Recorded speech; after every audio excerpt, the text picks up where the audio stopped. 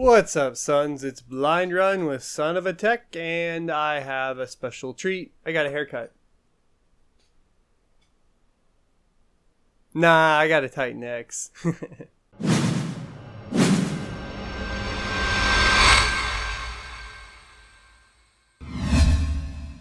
The NVIDIA Titan X Pascal is without a doubt the fastest consumer grade graphics card currently available on the market. The branding causes confusion, however, not only in the name, but also in its visual similarity to not only the previous Titan X, but the current Founders Edition GTX 1080. The price to performance is confusing as well for gamers. Even though NVIDIA has placed it in the GeForce GTX line, which implies gaming, they have stated that it is aimed towards machine learning. But don't worry, I am looking at this card from the PC gaming perspective. The Titan X Pascal features a black shroud over the reference designed cooler. At this point, while the cooler design is visually appealing, its performance has not improved over previous generations and still hits serious thermal limitations. The back of the card is graced with a black backplate identical to the Founders Edition line. While it gives the card a nice visual effect, it is unfortunately cheap materials. Nvidia advertises that the temperature limit is 94 degrees Celsius, but the card begins throttling at 84 degrees Celsius unless you manually adjust it in software like Afterburner. To keep temps down and clock stable, you will have to run the fans on a more aggressive fan profile that overpowers the sound coming from my rack mounted server Well, that's not in a rack. It's just on the floor.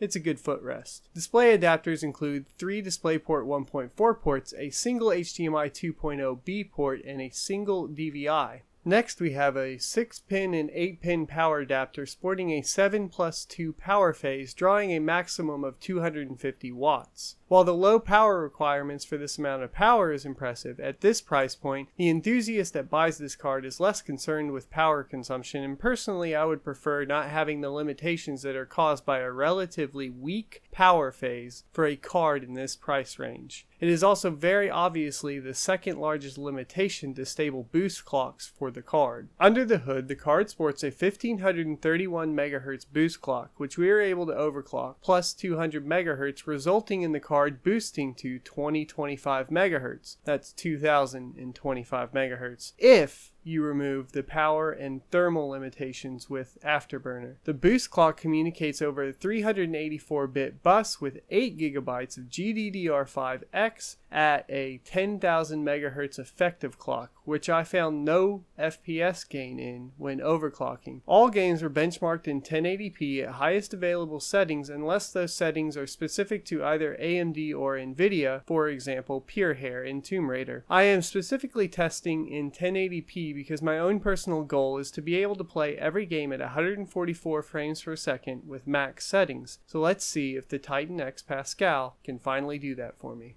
In Rise of the Tomb Raider, the Titan hit 106.7 frames per second. So unfortunately, $1,200 later, and we still aren't meeting my goal in every game. Things get better in Forza Motorsport 6 Apex beta, which almost hit the magic number, pushing 138 frames per second. Unfortunately, this wasn't very consistent with frequent drops closer to 100. TimeSpy Graphics Test 1 scored 100 frames per second, actually 100.99. So I guess we can just say 101 frames per second. Sorry, not 0.69 frames per second this time. And in TimeSpy Graphics Test 2, it scored 82.66 frames per second. Hitman did not get the typical 30% boost over the GTX 1080 like the rest of the games, and fell short of my magical number by pulling in 133 frames per second. Doom seems to have hit its limit with the Titan X hitting a consistent and locked 200 frames per second. It didn't seem to ever be able to go past that, so I'm assuming that's an engine limitation. I was hitting a wall with Gears of War Ultimate Edition after attempting to perform the upgrade to Windows 10 Anniversary Edition. For whatever reason, it was capping the frame rate at 60 FPS. After a fresh install of Windows and clean drivers from the Anniversary option on the NVIDIA website, the Titan X hit a massive 211 11 frames per second. We are there, Batman.